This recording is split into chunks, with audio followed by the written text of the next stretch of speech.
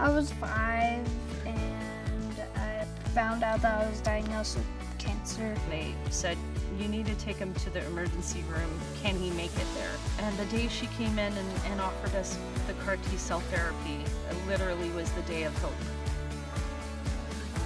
Nobody takes baths. We've lost some type of connection to water.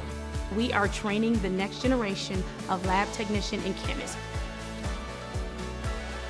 16 times, it has exonerated the innocent.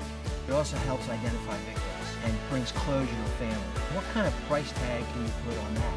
They've taken on the responsibility of saying, we're going to help this community. If you would have thought we'd be using DNA every day, thanks to companies like Thermo Fisher Scientific, it's a reality.